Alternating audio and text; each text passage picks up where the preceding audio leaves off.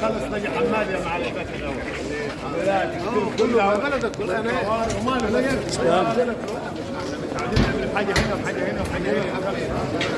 يعني خلص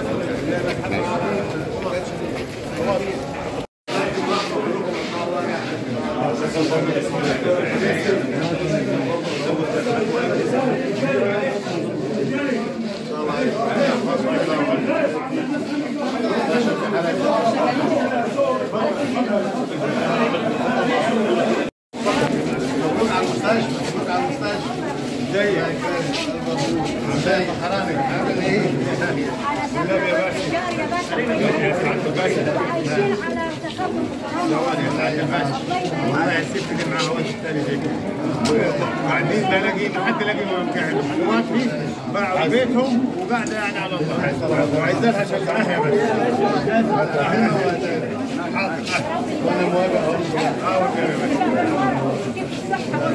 الحمد لله مكان يليق بيهم كده كويسه شوف شغل على الماكينة في إن شاء الله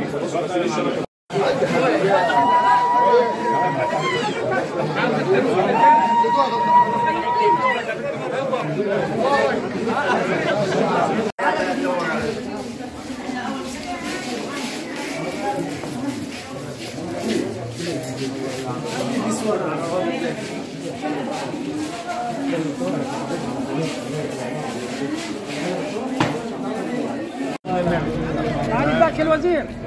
كلمة شكر بالنيابة عن عمال نجع حمادي على الحاجة الجميلة دي كلمة شكر يا باشا حازم. على الحاجة الحلوة دي يا باشا.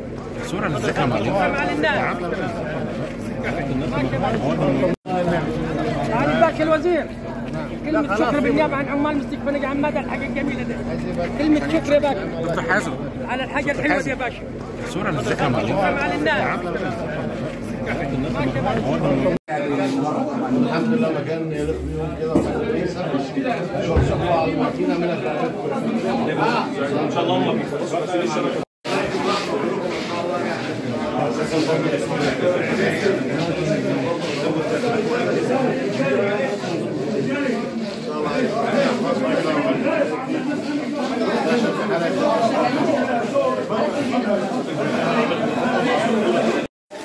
بسم الله الرحمن الرحيم حيدر عبد الحميد آه، مدير مستشفى نجاح حماد العام. النهارده بزف لكم بشرى افتتاح مبنى العيادات الخارجيه في مستشفى نجاح حماد العام. أنا عارف إن إحنا كلنا صبرنا وانتظرنا بس إن شاء الله دي تكون بداية آه، آه، تكليل المجهود الصبر بتاعنا.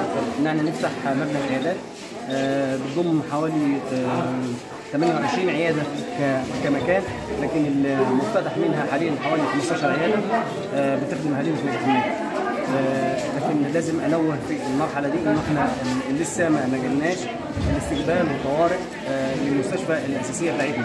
الاستقبال والطوارئ ما زال لمستشفى مقبوره اللي هت آه، الرعايه الصحية العاجلة لأبنائنا ما زلنا في مكاننا فوق لحين إن شاء الله بإذن الله الانتهاء تدريجيا من آه، تسليم مستشفى نجاح حماد العام.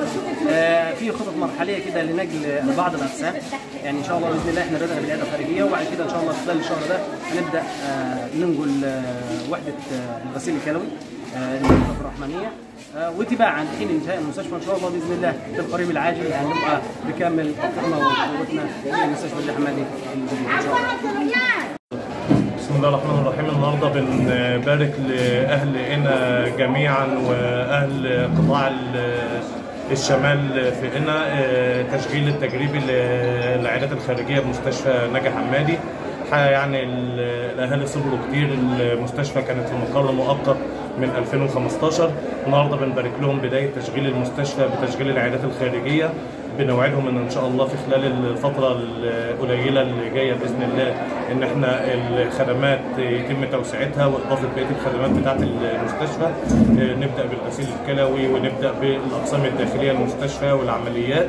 وإن شاء الله بإذن الله المستشفى تشتغل بكامل طاقتها لاستقبال المواطنين خلال الشهر الجاي بإذن الله آه، تعويضا لصبر أهالي هنا كده على الخدمات اللي كانت بديلة. بنوعدهم إن شاء الله إن إحنا مهتمين بالكادر الطبي وبالتجهيزات ورفع كفاءة مقدمي الخدمة عشان نقدم خدمة لائقة بيهم إن شاء الله بإذن الله. إن شاء الله. بشكركم